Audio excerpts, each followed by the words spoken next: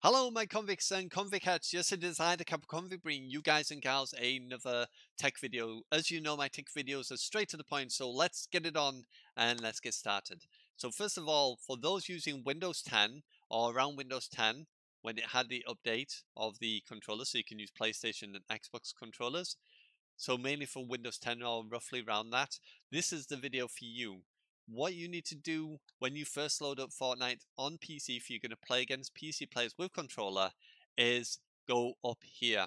Now what you need to do is go to this little tab, click on the little tab and on the settings and make sure you go to accessibility here and this is one thing the new feature that added in was to ignore gamepad inputs when you're actually playing. Now, a lot of people saying I plug them in my controller, it doesn't do anything, and I've seen many videos, especially yesterday when I had Windows 7 on my system as well, and it just says, "Oh, just plug it in, and you can play for like Windows 10." And people saying, "Well, no, it doesn't. Mine doesn't do that." And it's mainly because of this new feature. So make sure you go to accessibility, turn this off, go to your controller, make sure you select the right controller for you, which I'm using PS4, and then click back make sure that if you do go into the settings, when you go to accessibility, if you're changing it, make sure that you click apply as well, as mine was already done, so it wouldn't show that up. But make sure you have it switched to off, and then click apply, and then go and change this to whichever controller. Then go back, and then when you press any button, which I've got my PS4 controller already connected, just press any button and you can now see I am controlling with my controller. And you can notice by a few things, obviously, you can see the options now for play, which is triangle, square for solo, and so on and so forth. So if you're using Xbox controller or PS4 controller, that is all you need to do to get it to work. So, hopefully you've enjoyed. Don't forget to hit the like, subscribe if new, tap that notification bell to be notified of all my videos, and you truly can be one of Kappa's convicts or convict cats for the ladies. Now, if you Windows 7 or Nacon version 1, stick around. Anyone else, you can now leave and go enjoy your game on Fortnite. So there we go. If you're on Windows 7 or the Nacon version 1, this is what you need to do. So you need to actually go and go into a different program first in order to get it to work. So if you go here to Google Chrome, type in DS4 Windows, you will then find links such as this one and all you need to do is click download now. I'm not going to do it because I've already done it myself, but you should end up with this program at the end. And once you've downloaded that, you will get into some files, which will be roughly around about what it says here, uh, DS4 Windows, and then just click on the black controller there, and it will open up. and you will get this screen.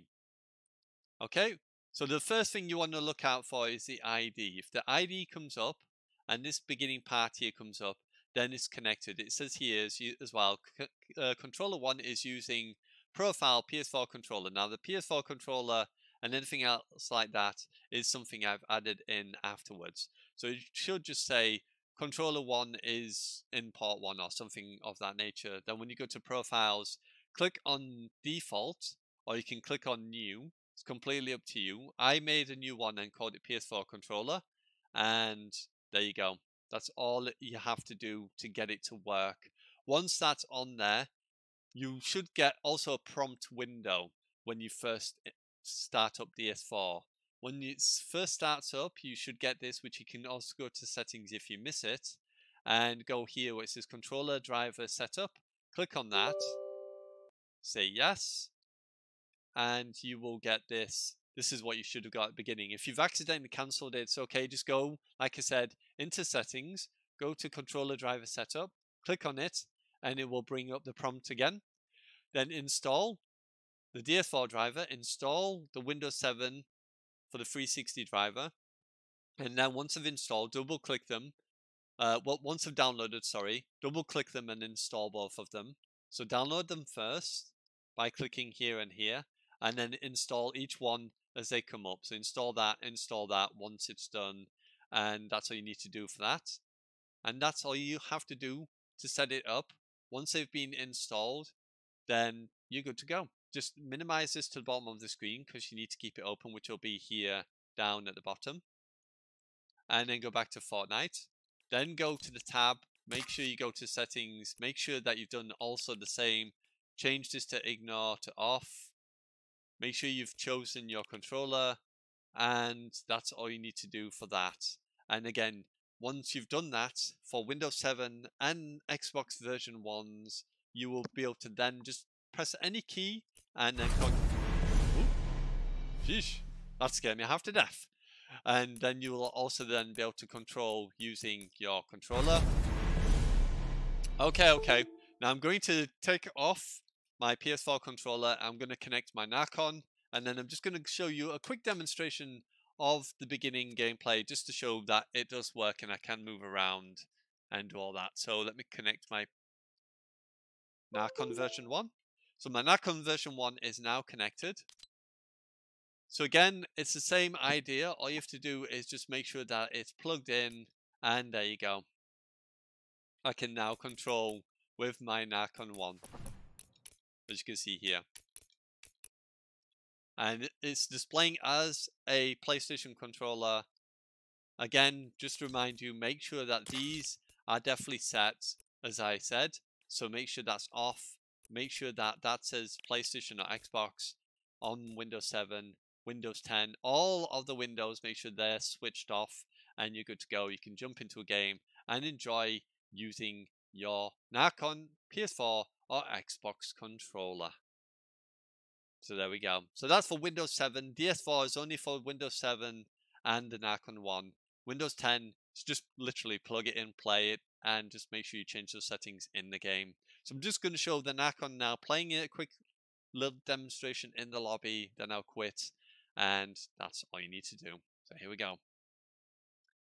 So my computer is not the strongest, so I don't know how the frame rate is going to be on here because it doesn't, it's not able to play the game at the same time and record.